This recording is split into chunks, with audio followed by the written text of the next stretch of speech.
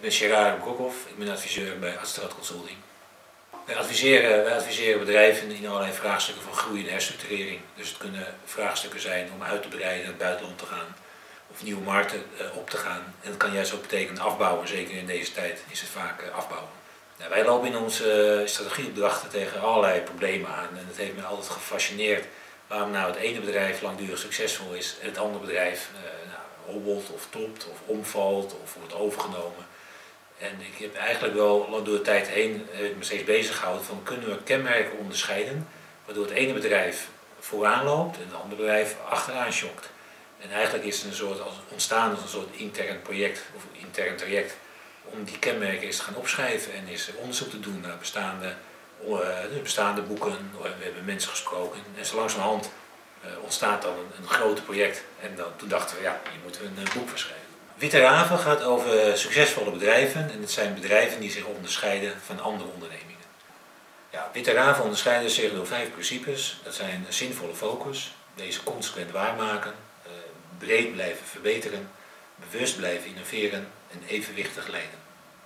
En het bijzondere is dat ze dat altijd doen, elke dag opnieuw, in onderlinge samenhang en op strategisch niveau. Het is dus geen uh, los of eenmalig project in een divisie ergens of in een los bedrijfsonderdeel. Bekende witte, raven in de afgelopen tien jaar die uit het onderzoek naar voren komen zijn Arcades, dat is een Vopak, dat is een uh, Boskalis, dat is een Shell, dat is een DSM.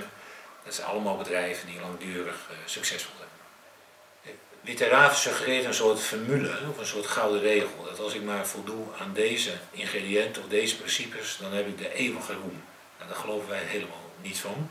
Wij zien het meer als een soort uh, kanspercentage. Dus hoe meer je deze principes, hoe verder je deze principes, deze basisprincipes doorvoert in een organisatie, hoe groter de kans op langdurig succes. Maar dat is natuurlijk geen garantie. Er zijn genoeg witte raven die onderuit zijn gegaan. En zelfs bedrijven als, als een Shell of een, eh, of Imtech, die zijn, of een Axel Nobel, die zijn niet immuun gebleven voor tegenslagen. Je ziet ook, zeker het laatste jaar, zie je dat ook echt de, de, best performance, de, echt succesvolle bedrijven het ook gewoon zwaarder hebben. Ze doen het nog steeds goed, maar minder goed dan, uh, dan twee, drie jaar geleden. Dus dit is een, een lastige tijd om uit te blinken.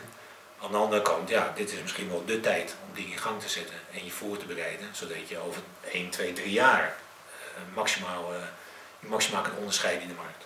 Ja, het boek onderscheidt zich van andere boeken omdat het, het is gebaseerd op een breed onderzoekskader. We gebruiken 33 eerdere onderzoeken, we gebruiken 90 cases en 12 interviews. Nou, die, die mix en die breedte is uh, bijzonder.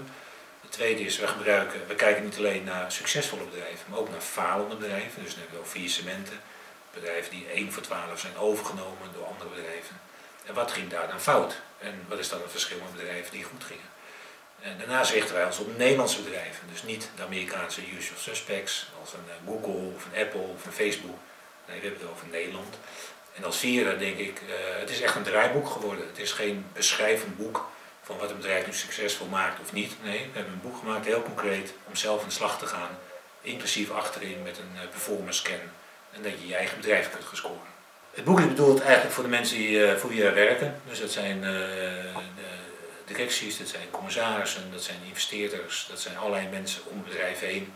Uh, en dat is eigenlijk iedereen die een witte raaf wil worden.